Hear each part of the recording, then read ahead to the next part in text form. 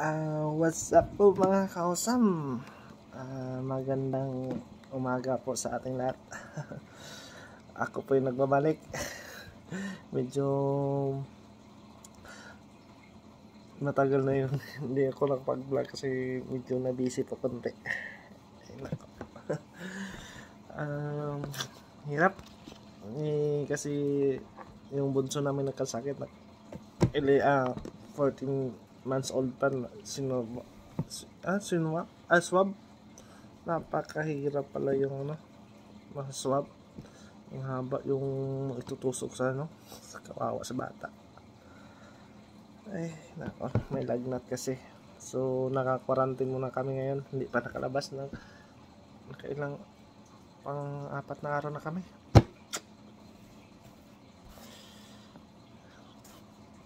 Ano na dito sa bahay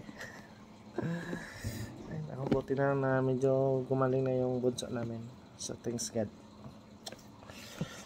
At ano pa? Ay mga kausam pala. Mga kausam maraming salamat. Ay naka 114 subscriber na po ako, na po ako. So maraming salamat po sa uh, pagtitiwala mo pala sa akin na medyo, kahit medyo may mga walang laman yung mga video. Salamat at saka shout out pala kay Rads Mix TV uh, isa ding nag-suporta uh, kay Hernan Kamama do salamat do sa Simpleng Pinoy do Simpleng Pinoy sa Canada Salamat sa inyo. O, at saka kay Master, Pinas Rising TV. Shout out po. Kay Mr. Big Word. Red, kumusta kayo dyan? Shout out.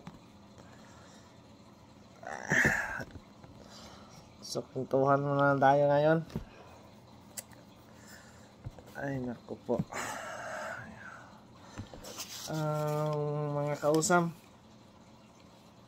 uh, may nabilitaan ako dito na yung ISO agency.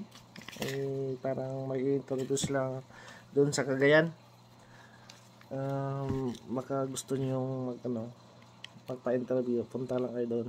Or siguro next vlog ko hindi pa alam ko kung ano ang exact date. So ang nadalin nyo lang yung doon. Yung sa mga beginners pa lang ha. Uh, ano lang uh, certificate of employees uh, yung sa butcher uh, at least 3 years. Taas tapos IELTS yun lang importante. Tapos ano kasi yun lang daw ang sa sa nadungog na ako. Pag yun lang interviewin pag may IELTS saka ano certificate sa agency lang yan ISO agency tapos ano pa? Um, ano? Basta yun sa F month of April sa Cagayan mag interview ang ano? Kung gusto nyo pumunta dito eh madali lang daw madali lang sa ano lalo na sa marunong mag English yun lang ha certificate at saka IELTS yun lang. Pwede na ka magpa-interview dito kung ma pag matanggap kayo doon. So ano na mag-inform na yung employer. O sabi ng employer dito o kaya pumunta sila ng ano Pinas or online interview na lang daw kung sa hindi pa sa pandi sa dahil sa pandemic to ngayon baka sa online interview na lang daw so siguraduhin nyo na mag ano ma, ma tanggap kayo sa ano sa magsayis sa interview doon sa ano ay sa Cagayan sa ISO. Madali lang 'yun. Mga ano uh, party lang sa baboy. Tapos yun, yun ang kadalasan ay parte ng baboy tapos gasa yun lang. Tap- tapos ano sige lang. Ah pag may time siguro may kung sinong ano sinong gusto magpato magpaturo ano yung may may kunting idea na ako dito kung paano. Kasi ako dito pag apply ako dito ay nung una una pa lang gusto na ako mag abroad kaso lang bagsak ako lagi kasi hindi ko marunong mag English English talaga yung importante. Buti na lang nakapunta ako rito kasi dahil sa misis ko.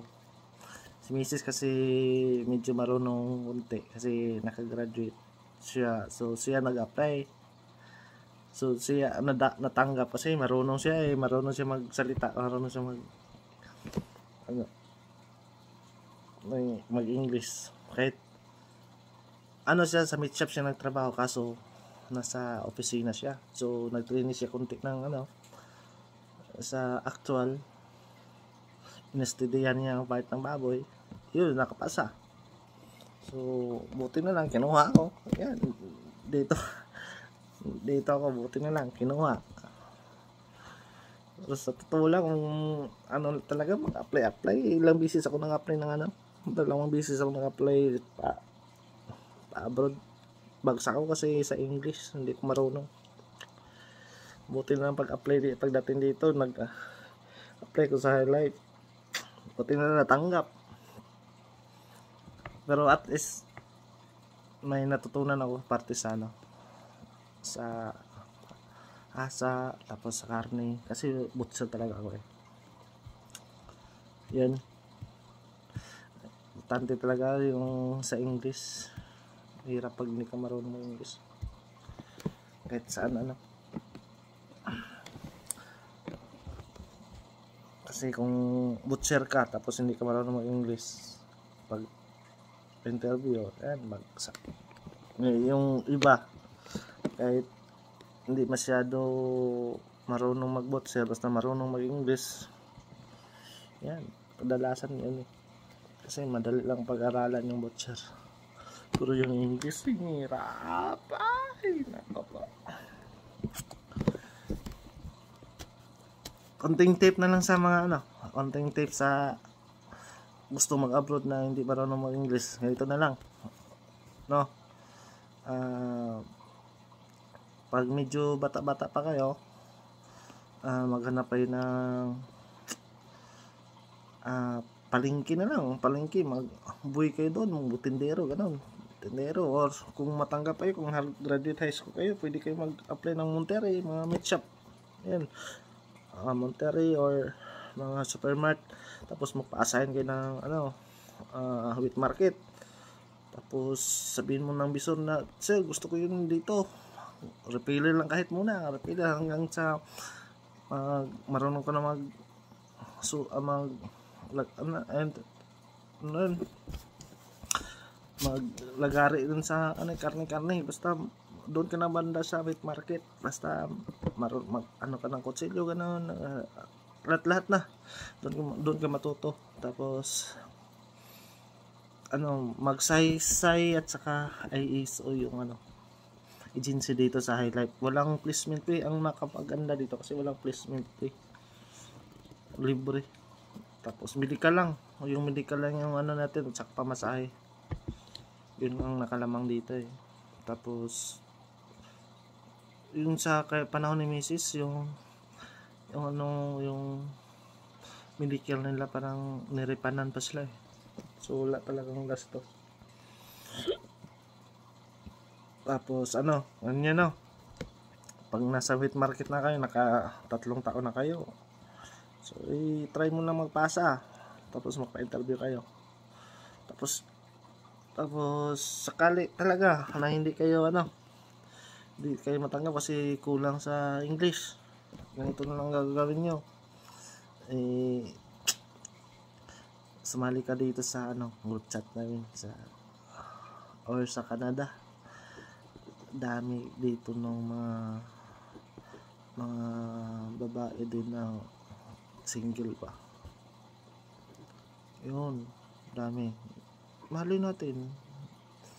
Magkaintindihan ngayon so yun ang the best way. Kukunin ngayon magka, magka, baka kayo magka kayo magkaintindihan.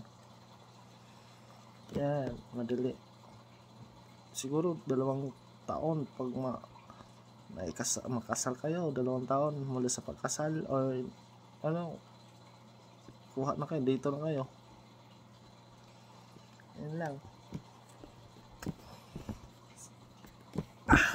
okay so guys ah yun lang guys. Parang wala ko sa mod kayo ngayon kasi yung baby kasi namin awawa wala.